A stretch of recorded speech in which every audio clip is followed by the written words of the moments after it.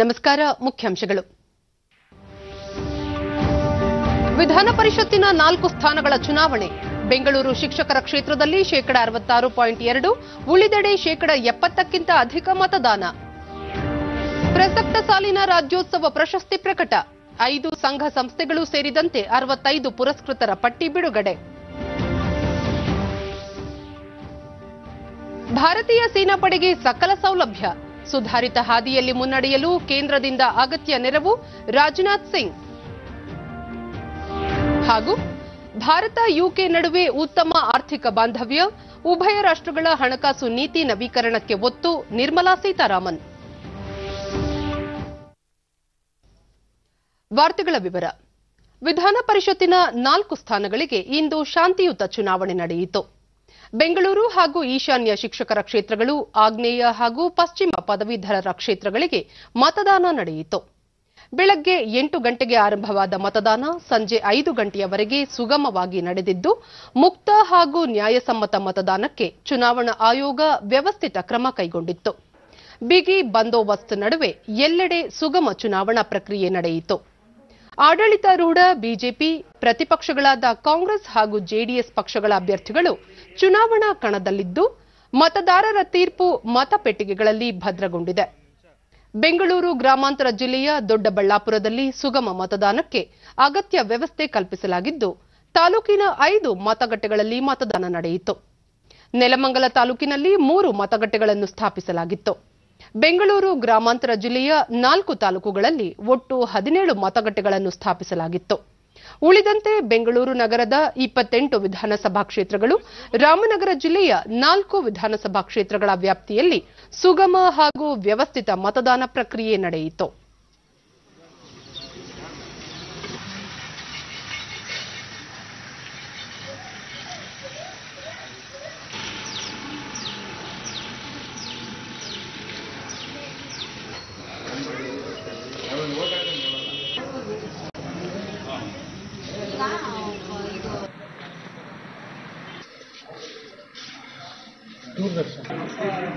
ಧಾರವಾಡದ ಪಶ್ಚಿಮ ಪದವೀಧರ ಕ್ಷೇತ್ರದಲ್ಲಿ ಮತದಾರರು ಬೆಳಗ್ಗೆಯಿಂದಲೇ ಉತ್ಸಾಹದಿಂದ ತಮ್ಮ ಹಕ್ಕು ಚಲಾಯಿಸಿದರು. ಕೊರೋನಾ ಸೋಂಕು ನಿಯಂತ್ರಣ ಕ್ರಮಗಳ ಅನ್ವಯ ಮತದಾನ ನಡೆಯಿತು. ಇದಕ್ಕಾಗಿ ನಲವತ್ತೆರಡು ವೈದ್ಯರನ್ನು ಚುನಾವಣಾ ಕರ್ತವ್ಯಕ್ಕೆ ನಿಯೋಜಿಸಲಾಗಿತ್ತು. ಧಾರವಾಡ, ಗದಗ, ಹಾವೇರಿ, ಉತ್ತರ ಕನ್ನಡ ಜಿಲ್ಲೆಗಳ ವ್ಯಾಪ್ತಿ ಹೊಂದಿರುವ ಪಶ್ಚಿಮ ಪದವೀಧರ ಕ್ಷೇತ್ರದಲ್ಲಿ ಯಾವುದೇ ಅಹಿತಕರ ಘಟನೆಗಳು ನಡೆಯದೆ ಶಾಂತಿಯುತ ಮತದಾನ ವರದಿಯಾಗಿದೆ.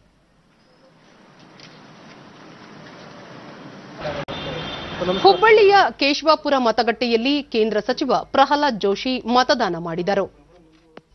ಬಳಿಕ ವಿಧಾನ ಪರಿಷತ್ನ ಎಲ್ಲಾ ನಾಲ್ಕು ಕ್ಷೇತ್ರಗಳಲ್ಲಿ ಮತದಾರರ ಒಲವು ಬಿಜೆಪಿ ಪರವಾಗಿದೆ ಎಂದು ಪ್ರತಿಕ್ರಿಯಿಸಿದರು.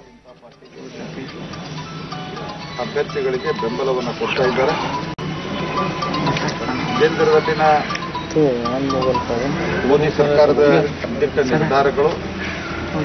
ಅದನ್ನ ರಾಜ್ಯದ ಮಟ್ಟಿಗೆ ವಿಸ್ತರಿಸಿರುವಂತಹ ಯಡಿಯೂರಪ್ಪನವರು ಸರ್ಕಾರದ ಇದನ್ನೆಲ್ಲವೂ ಬೆಂಬಲಿಸಿ ಮತಗಟ್ಟೆಗೆ ಆಗಮಿಸಿರುವಂತಹ ಪದವೀಧರರು ದೊಡ್ಡ ಸಂಖ್ಯೆಯಲ್ಲಿ ಬಿಜೆಪಿ ಪರವಾಗಿದ್ದಾರೆ ಅನ್ನುವಂಥ ಒಂದು ವಾತಾವರಣ ಇದೆ. ಆಗ್ನೇಯ ಪದವೀಧರ ಕ್ಷೇತ್ರಕ್ಕೆ ತುಮಕೂರು ನಗರದಲ್ಲಿ ಕೋವಿಡ್ ಮುಂಜಾಗ್ರತಾ ಕ್ರಮಗಳೊಂದಿಗೆ ಚುನಾವಣೆ ವ್ಯವಸ್ಥೆ ಮಾಡಲಾಗಿತ್ತು. ಮತದಾರರು ಮಾಸ್ಕ್ ಧರಿಸಿ ವ್ಯಕ್ತಿಗತ ಅಂತರ ಕಾಯ್ದುಕೊಂಡು ಮತದಾನ ಪ್ರಕ್ರಿಯೆಯಲ್ಲಿ ಪಾಲ್ಗೊಂಡರು. ಸಿದ್ದಗಂಗಾ ಪದವಿ ಪೂರ್ವ ಕಾಲೇಜಿನ ಮತಗಟ್ಟೆಯಲ್ಲಿ ಸಂಸದ ಜಿಎಸ್ ಬಸವರಾಜು ಮತದಾನ ಮಾಡಿದರು.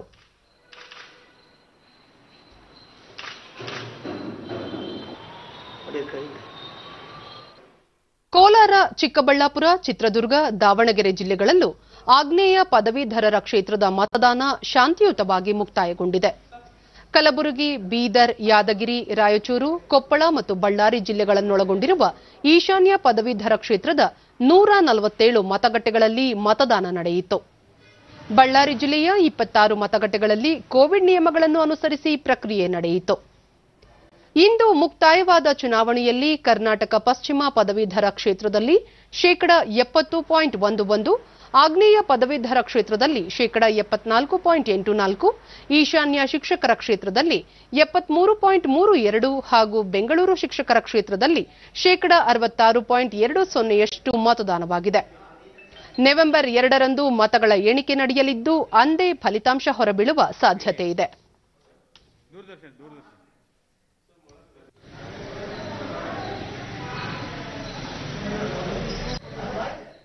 ಶಿರಾ ವಿಧಾನಸಭಾ ಕ್ಷೇತ್ರದ ಉಪಚುನಾವಣೆ ಪ್ರಚಾರ ಬಿರುಸುಗೊಂಡಿದ್ದು ಇಂದು ಕ್ಷೇತ್ರದ ವಿವಿಧೆಡೆ ಬಿಜೆಪಿ ಕಾಂಗ್ರೆಸ್ ಹಾಗೂ ಜೆಡಿಎಸ್ ಪಕ್ಷದ ಮುಖಂಡರು ಮತ ಪ್ರಚಾರ ನಡೆಸಿದರು.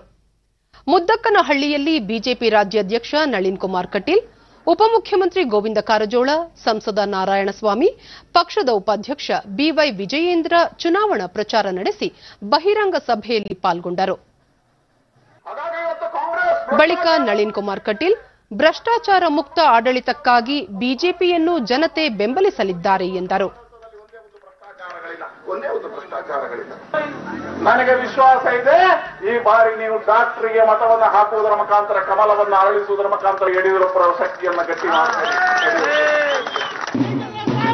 ಶಿರಾದಲ್ಲಿ ಕೆಪಿಸಿಸಿ ಅಧ್ಯಕ್ಷ ಡಿಕೆ ಶಿವಕುಮಾರ್ ಚುನಾವಣಾ ಪ್ರಚಾರದಲ್ಲಿ ಪಾಲ್ಗೊಂಡು ಅಭಿವೃದ್ಧಿ ಪರ ಆಡಳಿತ ಜನಪರ ಚಿಂತನೆಗಾಗಿ ಕಾಂಗ್ರೆಸ್ ಪಕ್ಷವನ್ನು ಮತದಾರರು ಬೆಂಬಲಿಸಲಿದ್ದಾರೆ ಎಂಬ ವಿಶ್ವಾಸ ವ್ಯಕ್ತಪಡಿಸಿದರು.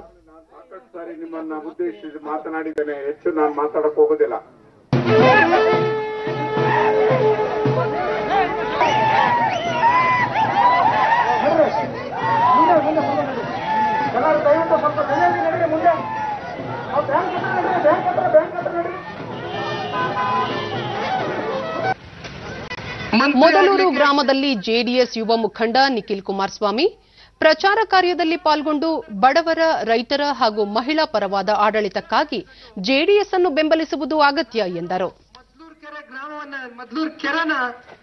ನೀರ್ನ ತುಂಬಿಸ್ಬಿಡ್ತೀವಿ ಅನ್ನೋ ಒಂದು ವಿಚಾರವಾಗಿ ಇವತ್ತು ಪ್ರಸ್ತಾಪ ಮಾಡ್ತಾ ಇದಾರಲ್ಲ. ಎಲ್ಲ ಗ್ರಾಮಸ್ಥ ತಂದೆ ತಾಯಂದ್ರಲ್ಲಿ ಕೈ ಜೋಡಿಸಿ ಮನವಿ ಮಾಡ್ತೀನಿ. ತಾವು ಪ್ರಶ್ನೆ ಮಾಡ್ಬೇಕು ಅವರು ಈ ಊರಿಗೆ ಬಂದಂತ ಸಂದರ್ಭದಲ್ಲಿ. ಐದು ವರ್ಷಗಳ ಕಾಲ ತಾವು ಮಂತ್ರಿ ಆಗಿದ್ರಲ್ಲ, ಅವತ್ತು ತಮಗೆ ಕೆರೆ ತುಂಬಿಸ್ಬೇಕು ಅನ್ನೋ ಒಂದು ಯೋಚನೆ ತಮ್ಮ ತಲೆಗೆ ಬರಲಿಲ್ವಾ? ವಿವಿಧ ಕ್ಷೇತ್ರಗಳಲ್ಲಿ ಗಣನೀಯ ಸೇವೆ ಸಲ್ಲಿಸಿದ ಅರವತ್ತೈದು ಗಣ್ಯರು ಸಂಘ ಸಂಸ್ಥೆಗಳಿಗೆ ಈ ಬಾರಿ ರಾಜ್ಯೋತ್ಸವ ಪ್ರಶಸ್ತಿ ಸಂದಿದೆ. ಕನ್ನಡ ಮತ್ತು ಸಂಸ್ಕೃತಿ ಸಚಿವ ಸಿಟಿ ರವಿ ಬೆಂಗಳೂರಿನಲ್ಲಿಂದು ಪ್ರಶಸ್ತಿ ಪುರಸ್ಕೃತರ ಪಟ್ಟಿ ಬಿಡುಗಡೆ ಮಾಡಿದರು.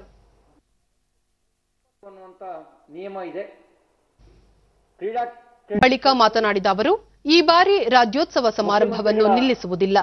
ಅರವತ್ತೈದನೇ ರಾಜ್ಯೋತ್ಸವ ಹಿನ್ನೆಲೆಯಲ್ಲಿ ಈ ಬಾರಿ ಅರವತ್ತೈದು ಮಂದಿಗೆ ಪ್ರಶಸ್ತಿ ನೀಡಲಾಗುತ್ತಿದೆ. ಈ ಪ್ರಶಸ್ತಿ ಒಂದು ಲಕ್ಷ ರೂಪಾಯಿ ಹಾಗೂ ಇಪ್ಪತ್ತೈದು ಗ್ರಾಂ ಚಿನ್ನದ ಪದಕವನ್ನು ಒಳಗೊಂಡಿದೆ ಎಂದು ಮಾಹಿತಿ ನೀಡಿದರು. ಎಲ್ಲ ಜಿಲ್ಲೆಗಳಿಗೂ ಕೊಡಬೇಕಾದ ಅನಿವಾರ್ಯತೆಯಲ್ಲಿ ಮೆರಿಟಿನ ಜೊತೆಗೆ ಎಲ್ಲ ಜಿಲ್ಲೆಗಳನ್ನು ಪರಿಗಣನೆಗೆ ತೆಗೆದುಕೊಂಡಿದ್ದೇವೆ. ಮತ್ತು ಅತಿ ಹೆಚ್ಚು ಪ್ರತಿಭೆಗಳನ್ನು ಒಳಗೊಂಡರೊಳಗೆ ಬೆಂಗಳೂರು ಅಗ್ರಗಣ್ಯ ಜಿಲ್ಲೆ ಆಗಿರೋದ್ರಿಂದ ಸ್ವಾಭಾವಿಕವಾಗಿ ಬೆಂಗಳೂರಿಗೆ ಸಿಂಹಪಾಲು ದೊರಕಿದೆ. ಆರೂವರೆ ಕೋಟಿ ಜನರಲ್ಲಿ ಅರವತ್ತೈದು ಜನರನ್ನು ಆಯ್ಕೆ ಮಾಡಬೇಕಾದಂಥ ಸಂದಿಗ್ಧ ಸ್ಥಿತಿಯಲ್ಲಿ ತುಂಬಾ ಜನರಿಗೆ ಯೋಗ್ಯರು ಕೂಡ ಆಯ್ಕೆ ಆಗಲಿಕ್ಕೆ ಸಾಧ್ಯ ಆಗಿಲ್ಲ. ಮುಂದಿನ ದಿನಗಳಲ್ಲಿ ಉಳಿದವರಿಗೂ ಸಿಗಲಿ ಅಂತ ಆಶಯವನ್ನು ವ್ಯಕ್ತಪಡಿಸಿ ಈ ಪಟ್ಟಿಯನ್ನು ತಮ್ಮ ಮೂಲಕ ನಾಡಿನ ಜನರಿಗೆ ಬಿಡುಗಡೆ ಮಾಡ್ತಾ ಇದ್ದೀವಿ. ನಿನ್ನೆ ಮುಖ್ಯಮಂತ್ರಿಗಳ ಜೊತೆನಲ್ಲಿ ಸಮಾಲೋಚನಾ ಸಭೆ ನಡೆಸಿ ಏಳನೇ ತಾರೀಕು ಬೆಳಿಗ್ಗೆ ಹನ್ನೊಂದು ಗಂಟೆಗೆ ರವೀಂದ್ರ ಕಲಾಕ್ಷೇತ್ರದಲ್ಲಿ ಸರಳವಾಗಿರ್ತಕ್ಕಂಥ ಕಾರ್ಯಕ್ರಮವನ್ನು ಆಯೋಜನೆ ಮಾಡಿ, ರಾಜ್ಯೋತ್ಸವ ಪ್ರಶಸ್ತಿ ಪ್ರದಾನ ಮಾಡುವಂತಕ್ಕಂಥ ನಿರ್ಣಯವನ್ನು ಕೈಗೊಂಡಿದ್ದೇವೆ. ಶಿಕ್ಷಣ ತಜ್ಞ ಎಂಎನ್ ಷಡಕ್ಷರಿ, ಪ್ರಗತಿಪರ ಕೃಷಿಕ ಸುರತ್ ಸಿಂಗ್, ಕನ್ನೂರ್ ಸಿಂಗ್ ರಜಪೂತ್, ಬಯಲಾಟ ಕಲಾವಿದೆ ಕೆಂಪವ್ವ ಹರಿಜನ, ಚಿತ್ರ ನಿರ್ದೇಶಕ ಎಟಿ ರಘು, ಜಾನಪದ ಗಾಯಕ ಗುರುರಾಜ ಹೊಸಕೋಟೆ, ನಾಟ್ಯ ವಿದೂಷಿ ಜ್ಯೋತಿ ಪಟ್ಟಾಭಿರಾಮ್, ತೊಗಲು ಬೊಂಬೆ ಆಟ ಕಲಾವಿದ ಕೇಶಪ್ಪ ಶಿಳಿಯ ಖ್ಯಾತರ ಸೇರಿದಂತೆ ಇಪ್ಪತ್ನಾಲ್ಕು ವಿವಿಧ ವಿಭಾಗಗಳಲ್ಲಿ ಅರವತ್ತು ಸಾಧಕರಿಗೆ ಹಾಗೂ ಸಂಘ ಸಂಸ್ಥೆಗಳ ವಿಭಾಗದಲ್ಲಿ ಬೆಂಗಳೂರಿನ youth for Seva, better India, Bengaluru ಗ್ರಾಮಾಂತರದ ಯುವ ಬ್ರಿಗೇಡ್ ಬಳ್ಳಾರಿಯ ದೇವದಾಸಿ ಸ್ವಾವಲಂಬನಾ ಕೇಂದ್ರ ಮತ್ತು ಧರ್ಮಸ್ಥಳದ ಧರ್ಮೋತ್ಥಾನ ಟ್ರಸ್ಟ್ಗೆ ರಾಜ್ಯೋತ್ಸವ ಪ್ರಶಸ್ತಿ ಪ್ರಕಟಿಸಲಾಗಿದೆ.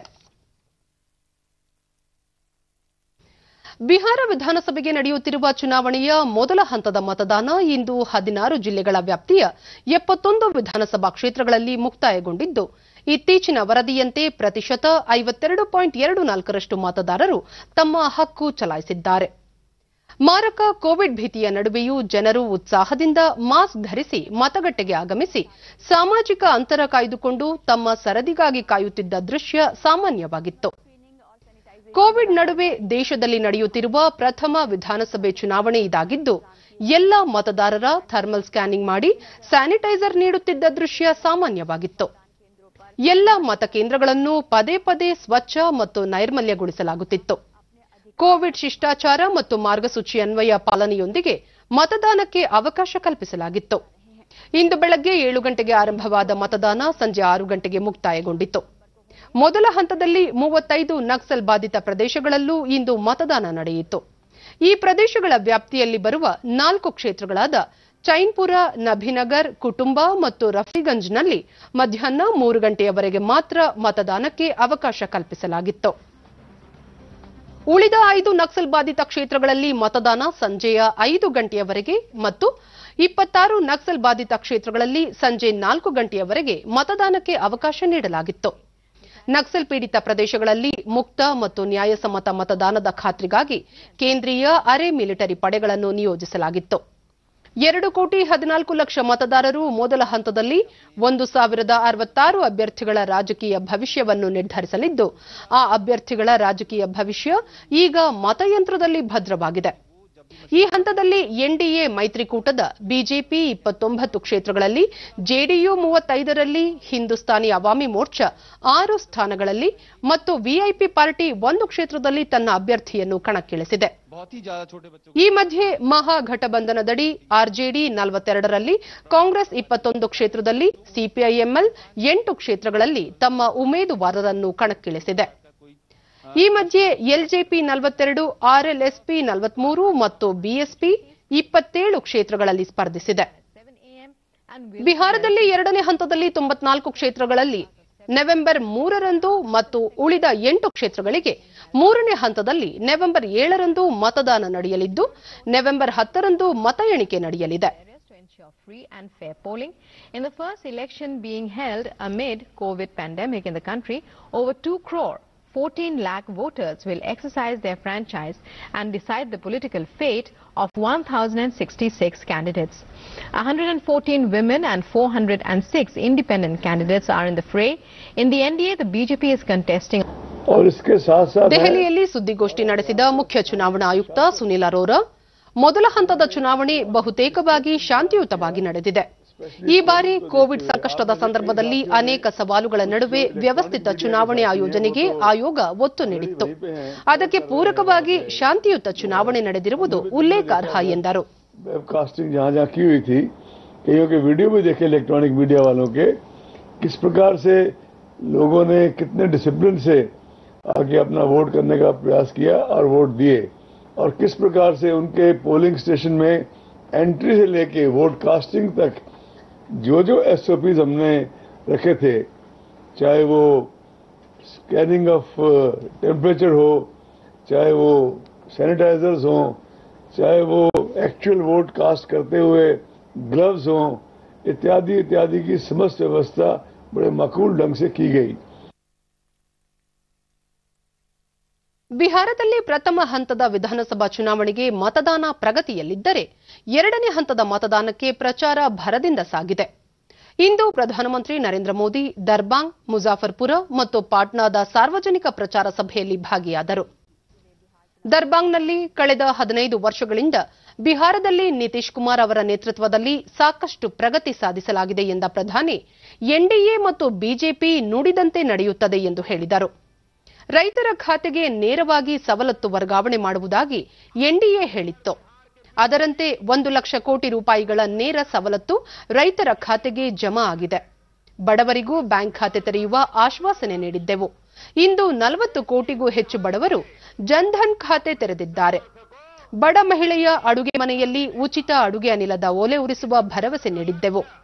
ಬಿಹಾರದಲ್ಲಿ ತೊಂಬತ್ತು ಲಕ್ಷ ಬಡ ಮಹಿಳೆಯರ ಮನೆಯಲ್ಲಿ ಇಂದು ಉಜ್ವಲ ಯೋಜನೆಯಡಿ ಇದನ್ನು ಸಾಕಾರಗೊಳಿಸಿದ್ದು ಹೊಗೆಯಿಂದ ಮುಕ್ತಿ ದೊರಕಿಸಲಾಗಿದೆ ಎಂದು ತಿಳಿಸಿದರು. एनडीए सरकार दिन रात काम कर रही है बीते समय में शिक्षा से लेकर शासन तक किसान से लेकर श्रमिक तक ईज ऑफ ಮುಜಾಫರ್ಪುರದಲ್ಲಿ ರ್ಯಾಲಿ ಉದ್ದೇಶಿಸಿ ಎನ್ಡಿಎ ಸರ್ಕಾರ ಮೂಲಸೌಕರ್ಯ ವರ್ಧನೆಗೆ ಆದ್ಯತೆ ನೀಡಿದ್ದು ಬಿಹಾರದ ಅಭಿವೃದ್ಧಿ ಬಿಜೆಪಿ ಜೆಡಿಯು ಮೈತ್ರಿ ಸರ್ಕಾರದಿಂದ ಮಾತ್ರ ಸಾಧ್ಯ ಎಂದರು ನಂತರ ಪಾಟ್ನಾದಲ್ಲಿ ಬಹಿರಂಗ ಸಭೆಯಲ್ಲಿ ಅವರು ಶಿಕ್ಷಣದಿಂದ ಹಿಡಿದು ಶಾಸನದವರೆಗೆ ಕೃಷಿಯಿಂದ ಶ್ರಮಿಕರವರೆಗೆ ಸುಗಮ ಜೀವನದಿಂದ ಸುಗಮ ವಾಣಿಜ್ಯದವರೆಗೆ ಹಲವಾರು ಅದ್ಭುತ ಸುಧಾರಣೆಗಳನ್ನು ಎನ್ಡಿಎ ಸರ್ಕಾರ ತಂದಿದೆ. ಸಾಮಾಜಿಕ ನ್ಯಾಯಕ್ಕೆ ಸರ್ಕಾರ ಒತ್ತು ನೀಡಿದ್ದು ಹೊಸ ಶಿಕ್ಷಣ ನೀತಿ ಯುವಕರ ಭವಿಷ್ಯಕ್ಕೆ ಅತ್ಯಂತ ಪೂರಕವಾಗಿದೆ ಎಂದು ತಿಳಿಸಿದರು. International institutes are quality teachers के लिए भी एक खाका इसमें खींचा गया है। साथियों, पढ़ाई ही नहीं, सरकारी भर्तियों में पारदर्शिता के लिए निरंतर कदम उठाए जा रहे हैं। अगर एससी, एसटी के आरक्षण को 10 साल के लिए आगे बढ़ाया गया है, इसी पार्लियामेंट के सत्र में हमने समाज के प्रति सामाजिक न्याय का ये कदम उठाया है तो सामान्य वर्ग के गरीबों को भी सामाजिक न्याय का हक है और इसलिए सामाजिक वर्ग के गरीबों को भी 10 प्रतिशत का आरक्षण दिया गया है उनको लौट कर ದರ್ಬಾಂಗ್ನಲ್ಲಿ ಮುಖ್ಯಮಂತ್ರಿ ನಿತೀಶ್ ಕುಮಾರ್ ಕೋವಿಡ್ ಸಂದರ್ಭದಲ್ಲಿ ವಲಸೆ ಕಾರ್ಮಿಕರಿಗೆ ಉಚಿತ ರೈಲು ಪ್ರಯಾಣ ಸೌಲಭ್ಯ ಉಚಿತ ಆಹಾರ ಧಾನ್ಯ ವಿತರಣೆ ಹಾಗೂ ಕೋವಿಡ್ ಮಹಾಮಾರಿ ಹರಡದಂತೆ ಬಿಹಾರದಲ್ಲಿ ಕೈಗೊಳ್ಳಲಾಗಿರುವ ಕ್ರಮಗಳಿಂದ ಹೇಗೆ ಸೋಂಕು ನಿಯಂತ್ರಣದಲ್ಲಿದೆ ಎಂಬ ಬಗ್ಗೆ ವಿವರಿಸಿದರು यानी अप्रैल से ही शुरू हो गया है और पूरे नवंबर तक प्रति व्यक्ति पांच किलो अनाज और हर परिवार में एक किलो दाल या चना का जो आयोजन किया गया है कितनी बड़ी बात है और किस तरह से जो एलपीजी कनेक्शन है उसमें मुफ्त में उन गरीब लोगों को एलपीजी का गैस सिलेंडर उपलब्ध कराया गया ಬಿಹಾರದ ಪಶ್ಚಿಮ ಚಂಪಾರಣ್ನಲ್ಲಿ ಕಾಂಗ್ರೆಸ್ ಮುಖಂಡ ರಾಹುಲ್ ಗಾಂಧಿ ಮಹಾಘಟಬಂಧನದ ಅಭ್ಯರ್ಥಿಗಳ ಪರ ಪ್ರಚಾರ ಕೈಗೊಂಡರು ಕೇಂದ್ರ ಸರ್ಕಾರ ತಂದಿರುವ ಮೂರು ಕೃಷಿ ಕಾನೂನುಗಳು ರೈತರ ಮತ್ತು ಕೃಷಿ ಭೂಮಿ ಮೇಲಿನ ಆಕ್ರಮಣ ರೈತರಿಗೆ ತಾವು ಬೆಳೆದ ಫಸಲಿಗೆ ಸೂಕ್ತ ದರ ಸಿಗುತ್ತಿಲ್ಲ ಹೀಗಾಗಿ ಗ್ರಾಮೀಣ ಯುವಕರು ವಲಸೆ ಹೋಗುತ್ತಿದ್ದಾರೆ ಎಂದು ಆರೋಪಿಸಿದರು ಇದೇ ಸಂದರ್ಭದಲ್ಲಿ ಚಂಪಾರಣ್ ಸತ್ಯಾಗ್ರಹದ ಹಿರಿಮೆಯನ್ನು ಅವರು ಸ್ಮರಿಸಿದರು बिहार के किसान पर आक्रमण है आपके खेतों पर आक्रमण है बिहार में 2006 में मंडी के सिस्टम को नष्ट किया गया था एमएसपी के सिस्टम को नष्ट किया गया था और आज गन्ना का किसान, गेहूँ का किसान, धान का किसान समझता है कि उसे अपने मान के लिए सही दाम नहीं मिल सकता, चाहे वो कुछ भी कर ले।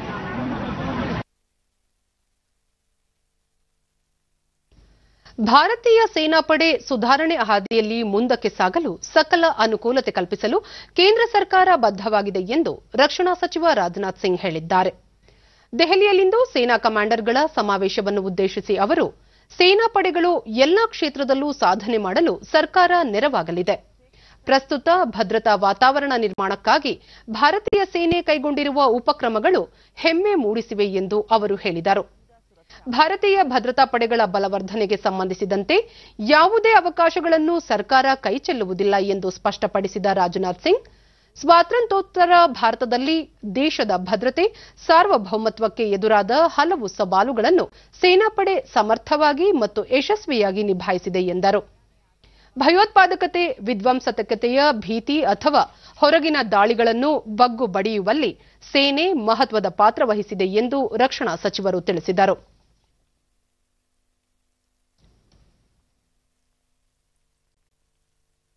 ಎರಡು ಸಾವಿರದ ಇಪ್ಪತ್ತರ ಮಾರ್ಚ್ ಒಂದರಿಂದ ಆರು ತಿಂಗಳ ಅವಧಿಯ ಎರಡು ಕೋಟಿ ರೂಪಾಯಿಗಳವರೆಗಿನ ಎಲ್ಲಾ ಸಾಲದ ಮೇಲಿನ ಬಡ್ಡಿ ಮನ್ನಾ ಮೊತ್ತವನ್ನು ಸಾಲ ಪಡೆದವರ ಖಾತೆಗೆ ವರ್ಗಾಯಿಸುವಂತೆ ಎಲ್ಲಾ ಸಾಲ ನೀಡಿಕೆ ಸಂಸ್ಥೆಗಳಿಗೆ ಭಾರತೀಯ ರಿಸರ್ವ್ ಬ್ಯಾಂಕ್ ಸೂಚಿಸಿದೆ. ಕೊರೋನಾ ಲಾಕ್ಡೌನ್ ಅವಧಿಯಲ್ಲಿ ಸಾಲದ ಮೇಲಿನ ಕಂತುಗಳ ಪಾವತಿಗೆ ಕಾಲಾವಕಾಶ ನೀಡಿದ್ದ ಸರ್ಕಾರ ನಿಗದಿತ ಸಾಲ ಖಾತೆಗಳ ಸಾಲಗಾರರಿಗೆ ಆರು ತಿಂಗಳ ಕಾಲ ಚಕ್ರಬಡ್ಡಿ ಮತ್ತು ಸರಳ ಬಡ್ಡಿ ನಡುವಿನ ವ್ಯತ್ಯಾಸವನ್ನು ಮರುಪಾವತಿ ಮಾಡುವುದಾಗಿ ಘೋಷಿಸಿರುವ ಹಿನ್ನೆಲೆಯಲ್ಲಿ ಆರ್ಬಿಐ ಈ ಸೂಚನೆ ನೀಡಿದೆ.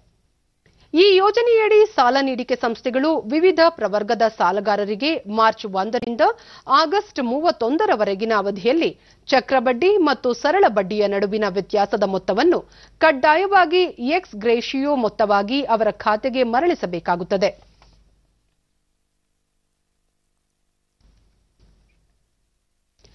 ಭಾರತ ಮತ್ತು ಯುನೈಟೆಡ್ ಕಿಂಗ್ಡಮ್ ಎರಡೂ ವಿಶ್ವದ ಪ್ರಥಮ ಏಳು ಆರ್ಥಿಕ ರಾಷ್ಟ್ರಗಳ ಸಾಲಿನಲ್ಲಿದ್ದು ಉಭಯ ದೇಶಗಳ ನಡುವಿನ ಆರ್ಥಿಕ ಬಾಂಧವ್ಯ ಅತ್ಯಂತ ಮಹತ್ವದ್ದಾಗಿದೆ ಎಂದು ಹಣಕಾಸು ಮತ್ತು ಸಾಂಸ್ಥಿಕ ವ್ಯವಹಾರಗಳ ಖಾತೆ ಸಚಿವೆ ನಿರ್ಮಲಾ ಸೀತಾರಾಮನ್ ಪ್ರತಿಪಾದಿಸಿದ್ದಾರೆ. ವಿಡಿಯೋ ಕಾನ್ಫರೆನ್ಸಿಂಗ್ ಮೂಲಕ ಹತ್ತನೇ ಭಾರತ ಯುಕೆ ಆರ್ಥಿಕ ಮತ್ತು ಹಣಕಾಸು ಸಂವಾದದ ಮೊದಲ ಅಧಿವೇಶನದಲ್ಲಿ ಅವರು ಉಭಯ ರಾಷ್ಟ್ರಗಳಿಗೆ ತಮ್ಮ ನೀತಿಗಳನ್ನು ಉತ್ತಮ ಫಲಶ್ರುತಿಗಾಗಿ ನವೀಕರಿಸಲು ಈ ಅಧಿವೇಶನ ನೆರವಾಗಲಿದೆ ಎಂದರು. डॉलर से अधिक की सकल घरेलू उत्पाद है। निर्मला सीतारमन ने कहा कि कोरोना वायरस से निपटने पर, अनुभवों को साझा करने पर ये सत्र आर्थिक प्राथमिकताओं और आर्थिक सुधारों के लिए नीतियों से दोनों देशों को अपनी नीतियों को परिष्कृत करने और बेहतर परिणाम सुनिश्चित करने और सीखने में मदद मिलेगी। दसवीं भारतीय ब्रिटेन आर्थिक और वित्तीय वार्ता के दौरान ರಾಜ್ಯದಲ್ಲಿ ಇಂದು ಹೊಸದಾಗಿ ಮೂರು ಸಾವಿರದ ನೂರ ನಲವತ್ತಾರು ಕೋವಿಡ್ ಪ್ರಕರಣಗಳು ದೃಢಪಟ್ಟಿದ್ದು, ಇದರೊಂದಿಗೆ ಒಟ್ಟು ಸೋಂಕು ಪ್ರಕರಣಗಳ ಸಂಖ್ಯೆ ಎಂಟು ಲಕ್ಷದ ಹನ್ನೆರಡು ಸಾವಿರದ ಏಳುನೂರ ಎಂಬತ್ನಾಲ್ಕಕ್ಕೆ ಏರಿಕೆಯಾಗಿದೆ. ಇಂದು ಏಳು ಸಾವಿರದ ಮುನ್ನೂರ ಎಂಬತ್ನಾಲ್ಕು ಮಂದಿ ಆಸ್ಪತ್ರೆಯಿಂದ ಬಿಡುಗಡೆಯಾಗಿದ್ದು, ಇದುವರೆಗೂ ಗುಣಮುಖಗೊಂಡವರ ಸಂಖ್ಯೆ ಏಳು ಲಕ್ಷ ಮೂವತ್ಮೂರು ಸಾವಿರದ ಐನೂರ ಐವತ್ತೈದಕ್ಕೆ ತಲುಪಿದೆ. ಇಂದು ಐವತ್ತೈದು ಮಂದಿ ಸಾವನ್ನಪ್ಪಿದ್ದು ಮೃತಪಟ್ಟವರ ಸಂಖ್ಯೆ ಹನ್ನೊಂದು ಸಾವಿರದ ನಲವತ್ತಾರಕ್ಕೆ ಏರಿಕೆಯಾಗಿದೆ. ಸದ್ಯ ರಾಜ್ಯದಲ್ಲಿ ಅರವತ್ತೆಂಟು ಸಾವಿರದ ನೂರ ಅರವತ್ತೊಂದು ಸಕ್ರಿಯ ಪ್ರಕರಣಗಳಿವೆ. ಒಂಬೈನೂರ ಮೂವತ್ತೊಂಬತ್ತು ಮಂದಿ ರಾಜ್ಯದ ವಿವಿಧ ಆಸ್ಪತ್ರೆಗಳಲ್ಲಿ ತೀವ್ರ ನಿಗಾ ಘಟಕದಲ್ಲಿ ಚಿಕಿತ್ಸೆ ಪಡೆಯುತ್ತಿದ್ದಾರೆ.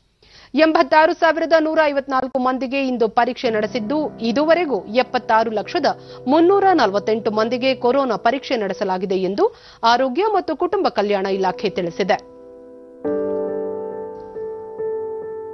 ಬೆಂಗಳೂರಿನಲ್ಲಿ ಒಂದು ಸಾವಿರದ ಆರುನೂರ ಹನ್ನೆರಡು ಮಂದಿಗೆ ಸೋಂಕು ತಗುಲಿದ್ದು, ಒಟ್ಟು ಸೋಂಕು ಪ್ರಕರಣಗಳ ಸಂಖ್ಯೆ ಮೂರು ಲಕ್ಷ ಮೂವತ್ತು ಸಾವಿರದ ಎಂಟುನೂರ ಅರವತ್ತೆರಡಕ್ಕೆ ಏರಿಕೆಯಾಗಿದೆ.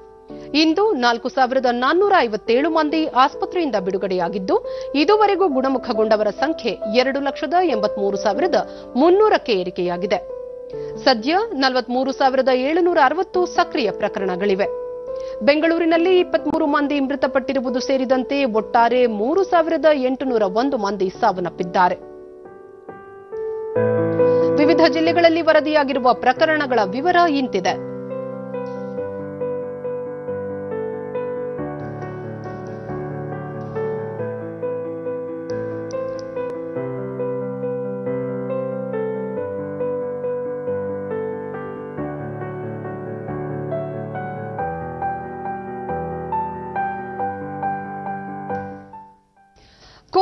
ಹತ್ತೊಂಬತ್ತು ಸೋಂಕಿಗೆ ಆಕ್ಸ್ಫರ್ಡ್ ವಿಶ್ವವಿದ್ಯಾಲಯ ಸಂಶೋಧಿಸಿರುವ ಕೋವಿಶೀಲ್ಡ್ ಲಸಿಕೆಯ ಮೂರನೇ ಹಂತದ ಪರೀಕ್ಷೆ ಮೈಸೂರಿನ ಜೆಎಸ್ಎಸ್ ವೈದ್ಯಕೀಯ ಕಾಲೇಜು ಪ್ರಯೋಗಾಲಯದಲ್ಲಿ ಆರಂಭಿಸಲಾಗಿದೆ ಎಂದು ಸಂಸ್ಥೆಯ ಸಮಕುಲಾಧಿಪತಿ ಡಾ ಬಿ ಸುರೇಶ್ ತಿಳಿಸಿದ್ದಾರೆ.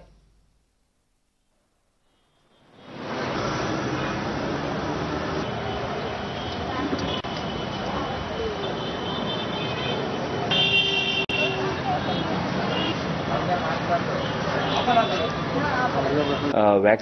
ಡಿಡಿ ನ್ಯೂಸ್ನೊಂದಿಗೆ ಲಸಿಕೆಯ ಮೂರನೇ ಹಂತದ ಪ್ರಯೋಗ ಆರಂಭಗೊಂಡಿರುವುದು ಆಶಾಭಾವನೆ ಮೂಡಿಸಿದ್ದು ಪುಣೆಯ ಸೆರಾ ಇನ್ಸ್ಟಿಟ್ಯೂಟ್ನಿಂದ ಲಸಿಕೆ ಕಳೆದ ಸೆಪ್ಟೆಂಬರ್ನಲ್ಲಿ ಮೈಸೂರಿಗೆ ತರಿಸಲಾಗಿತ್ತು. ಈಗಾಗಲೇ ಎರಡು ಹಂತದ ಪ್ರಯೋಗಗಳು ಯಶಸ್ವಿಯಾಗಿದ್ದು ವರದಿಯನ್ನು ಕೇಂದ್ರ ಆರೋಗ್ಯ ಇಲಾಖೆಗೆ ಕಳುಹಿಸಲಾಗಿದೆ. ಮೂರನೇ ಹಂತದಲ್ಲಿ ನೂರ ಐವತ್ತು ಜನರ ಮೇಲೆ ಈ ಲಸಿಕೆ ಪ್ರಯೋಗ ನಡೆಸಲಾಗುತ್ತಿದ್ದು ಆರಂಭದಲ್ಲಿ ಐವರ ಮೇಲೆ ಪ್ರಯೋಗಿಸಲಾಗುತ್ತಿದೆ. ಅಗತ್ಯ ಎಚ್ಚರಿಕೆಯೊಂದಿಗೆ ಸುರಕ್ಷಿತ ಪ್ರಯೋಗಕ್ಕೆ ಆದ್ಯತೆ ನೀಡಲಾಗಿದ್ದು, ಎರಡು ಸಾವಿರದ ಇಪ್ಪತ್ತೊಂದರ ಮೊದಲ ಮೂರು ತಿಂಗಳಲ್ಲಿ ನಿಖರ ಫಲಿತಾಂಶ ಹೊರಬೀಳುವ ಸಾಧ್ಯತೆ ಇದೆ ಎಂದರು. ಕಂಪ್ಲೀಟ್ ಆಗಿದೆ. ಇದು ಟ್ರಯಲ್ಸ್ ಬಂದು ಬಹಳ ಮುಖ್ಯವಾಗಿ ಒಂದು ಪಾರ್ಟ್ ಅದು. ಯಾವುದೇ ವ್ಯಾಕ್ಸಿನ್ ಡೆವಲಪ್ಮೆಂಟ್ ಆಗಲಿ ಡ್ರಗ್ ಡೆವಲಪ್ಮೆಂಟ್ ಆಗಲಿ, ಅದು ಸೇಫ್ ಆಗಿ ಹ್ಯೂಮನ್ಸ್ಗೆ ರೀಚ್ ಆಗಬೇಕು. ಅದರಿಂದ ಆಮೇಲೆ ಅವ್ರಿಗೆ ಯಾವುದೂ ಲಾಂಗ್ ಟರ್ಮ್ ಇಫೆಕ್ಟ್ ಬರಬಾರ್ದು. ಸೊ ಇದೆಲ್ಲಾನು ನಾವು ಸ್ಟಡಿ ಮಾಡಿ ಕಳಿಸೋದು ಬಹಳ ಬಹಳ ಮುಖ್ಯ. ಕೋವಿಡ್ ಹತ್ತೊಂಬತ್ತು ಹಿನ್ನೆಲೆ ಸರ್ಕಾರ ಜಾರಿ ಮಾಡಿರುವ ಆನ್ಲೈನ್ ಶಿಕ್ಷಣಕ್ಕೆ ಪೂರಕವಾಗಿ ವಿದ್ಯಾರ್ಥಿಗಳಿಗೆ ಅನುಕೂಲವಾಗುವಂತೆ ರಾಮನಗರ ಜಿಲ್ಲೆ ಚನ್ನಪಟ್ಟಣ ತಾಲೂಕಿನ ಚಿಕ್ಕೇನಹಳ್ಳಿ ಗ್ರಾಮದಲ್ಲಿ ಮಾತೃಭೂಮಿ ಸೇವಾ ಫೌಂಡೇಶನ್ ವತಿಯಿಂದ ಉಚಿತ ವೈಫೈ ಸೌಲಭ್ಯ ಒದಗಿಸಲಾಗಿದೆ.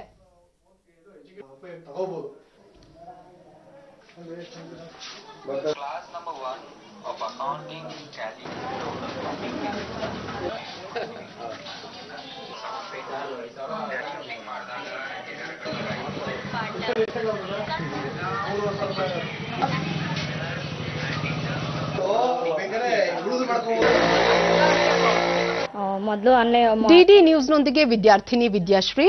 ಆನ್ಲೈನ್ ತರಗತಿಗಳು ನಡೆಯುತ್ತಿದ್ದು ಇಂಟರ್ನೆಟ್ ಸಮಸ್ಯೆಯಿಂದ ಅನಾನುಕೂಲ ಉಂಟಾಗಿತ್ತು.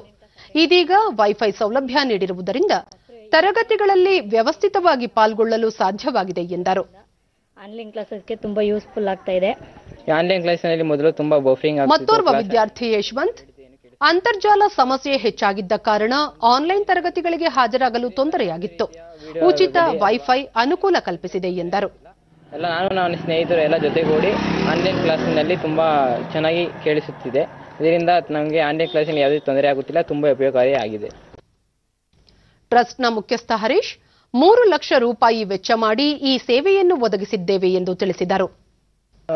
ರೂಟರ್ ಆಗಿರ್ಬೋದು ಮತ್ತೆ ಫೈಬರಿಂಗ್ ಆಗಿರ್ಬೋದು ಪ್ರತಿಯೊಂದಕ್ಕೆ ಅದು ಕೂಡ ಇಲ್ಲಿವರೆಗೆ ಒಂದು ಮೂರು ಲಕ್ಷ ರೂಪಾಯಿವರೆಗೂ ಕೂಡ ನಮಗೆ ಖರ್ಚಾಗಿದೆ. ಇಡೀ ದೇಶದಲ್ಲೇ ಪ್ರಥಮ ಬಾರಿಗೆ ನಾವು ತಾಂತ್ರಿಕ ವಿಲೇಜ್ ಅನ್ನ ಮುಖಾಂತರ ಇಡೀ ದೇಶಕ್ಕೆ ಮಾಡಲ್ ಮಾಡಲ್ ವಿಲೇಜ್ ಆಗಿ ನಾವು ಕೊಟ್ಟಿದ್ದೀವಿ. ಗ್ರಾಮಸ್ಥ ಷಡಕ್ಷರಿ ಕುಮಾರ್ ವೈಫೈ ಸೌಲಭ್ಯದಿಂದ ವಿದ್ಯಾರ್ಥಿಗಳಿಗೆ ಪೋಷಕರಿಗೆ ಅನುಕೂಲವಾಗಿದೆ ಎಂದು ತಿಳಿಸಿದರು. ಮಾಡಿದ ಮೇಲೆ ಮಕ್ಕಳುಗಳು ಒಂದು ಸ್ವಲ್ಪ ಇಂಟರ್ನೆಟ್ ಎಲ್ಲ ಚೆನ್ನಾಗಿ ಸಿಗ್ತಾ ಇದೆ ಅವ್ರಿಗೆ. ಚೆನ್ನಾಗಿ ಇದಾಗ್ತಾ ಇದೆ. ಮತ್ತೆ ವೈಫೈ ಮುಖಾಂತರ ಹಳ್ಳಿನ ತಾಂತ್ರಿಕ ವಿಲೇಜ್ ಮಾಡಬೇಕು ಅಂತ ಅವರು ಹೊರಟವ್ರೆ. ನಾವು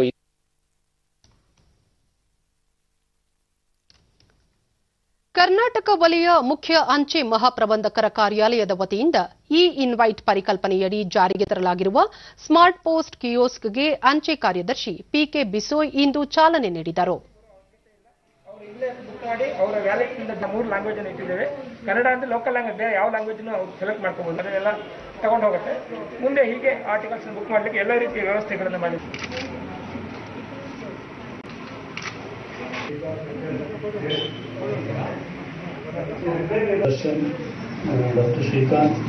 ಇದರಲ್ಲಿ ಪೂರ್ವ ವಲಯ ಅಂಚೆ ಅಧೀಕ್ಷಕ ಬಿಎಸ್ ವಿಜಯಕುಮಾರ್ ಡಿಜಿಟಲ್ ಇಂಡಿಯಾ ಯೋಜನೆಯಡಿಯಲ್ಲಿ ನೂತನವಾದ ಸ್ಮಾರ್ಟ್ ಪೋಸ್ಟ್ ಕಿಯೋಸ್ಕ್ ಸೇವೆಗೆ ಅಂಚೆ ಕಚೇರಿ ಚಾಲನೆ ನೀಡಿದೆ. ಈ ಮೂಲಕ ಜನರಿಗೆ ಹೆಚ್ಚಿನ ಅನುಕೂಲವಾಗಲಿದ್ದು, ಈ ಸೇವೆ ಸಾರ್ವಜನಿಕರಿಗೆ ದಿನದ ಇಪ್ಪತ್ನಾಲ್ಕು ಗಂಟೆಗಳು ಸಹ ಸಿಗಲಿದೆ ಎಂದು ತಿಳಿಸಿದರು.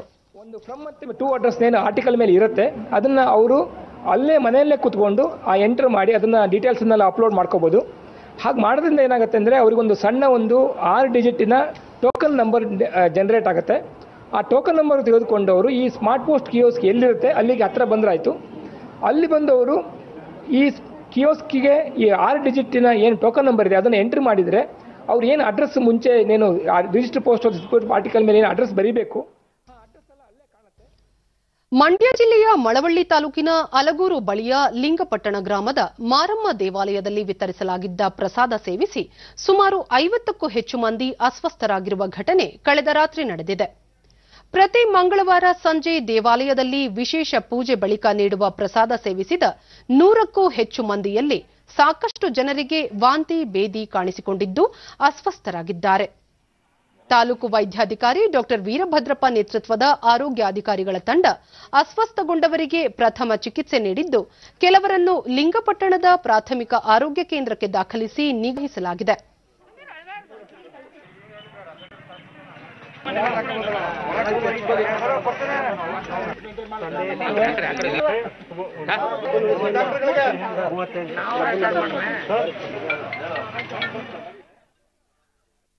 ಕೊನೆಯಲ್ಲಿ ಮತ್ತೊಮ್ಮೆ ಮುಖ್ಯಾಂಶಗಳು. ವಿಧಾನ ಪರಿಷತ್ತಿನ ನಾಲ್ಕು ಸ್ಥಾನಗಳ ಚುನಾವಣೆ. ಬೆಂಗಳೂರು ಶಿಕ್ಷಕರ ಕ್ಷೇತ್ರದಲ್ಲಿ ಶೇಕಡ ಅರವತ್ತಾರು ಪಾಯಿಂಟ್ ಎರಡು, ಉಳಿದೆಡೆ ಶೇಕಡ ಎಪ್ಪತ್ತಕ್ಕಿಂತ ಅಧಿಕ ಮತದಾನ. ಪ್ರಸಕ್ತ ಸಾಲಿನ ರಾಜ್ಯೋತ್ಸವ ಪ್ರಶಸ್ತಿ ಪ್ರಕಟ. ಐದು ಸಂಘ ಸಂಸ್ಥೆಗಳು ಸೇರಿದಂತೆ ಅರವತ್ತೈದು ಪುರಸ್ಕೃತರ ಪಟ್ಟಿ ಬಿಡುಗಡೆ ಭಾರತೀಯ ಸೇನಾಪಡೆಗೆ ಸಕಲ ಸೌಲಭ್ಯ. ಸುಧಾರಿತ ಹಾದಿಯಲ್ಲಿ ಮುನ್ನಡೆಯಲು ಕೇಂದ್ರದಿಂದ ಅಗತ್ಯ ನೆರವು ರಾಜನಾಥ್ ಸಿಂಗ್. ಹಾಗೂ ಭಾರತ ಯುಕೆ ನಡುವೆ ಉತ್ತಮ ಆರ್ಥಿಕ ಬಾಂಧವ್ಯ, ಉಭಯ ರಾಷ್ಟ್ರಗಳ ಹಣಕಾಸು ನೀತಿ ನವೀಕರಣಕ್ಕೆ ಒತ್ತು ನಿರ್ಮಲಾ ಸೀತಾರಾಮನ್. ಇಲ್ಲಿಗೆ ಇಂದಿನ ವಾರ್ತಾ ಪ್ರಸಾರ ಮುಕ್ತಾಯವಾಯಿತು.